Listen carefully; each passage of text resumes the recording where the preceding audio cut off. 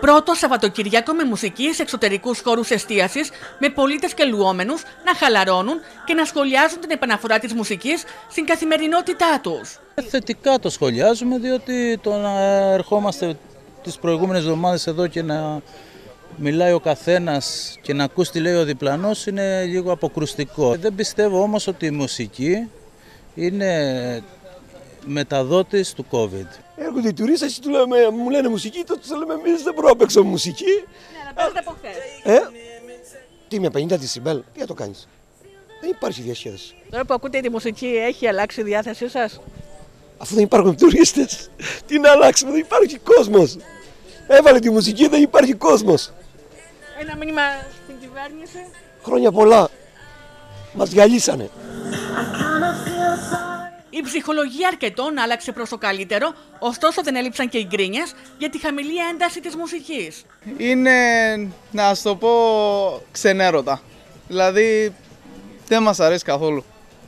Είναι χάλια, δηλαδή δεν έχει ένταση ώστε να ανεβούν οι παλμοί της καρδιάς να περάσουμε καλά. Αυτό. Η νυχτερινή ζωή πλέον γίνεται σε παρέες σπίτια μας.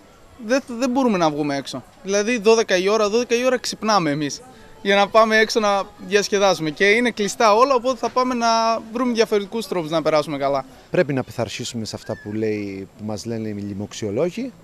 Δυστυχώς εμείς σε αυτό το σημείο, όταν έχει πέντε φορά αέρα και είσαι δίπλα στη θάλασσα, ε, πιο πολύ βοή βγάζει η θάλασσα παρά η μουσική που ακούγεται. Πιστεύω ότι χωρίς ε, μουσική δεν υπάρχει τουρισμός, δεν υπάρχει διασκέδαση, δεν υπάρχουν μαγαζιά, δεν υπάρχει τίποτα.